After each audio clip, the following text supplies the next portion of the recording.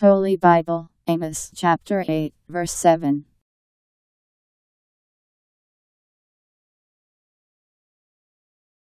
The Lord has taken an oath by the pride of Jacob, truly I will ever keep in mind all their works.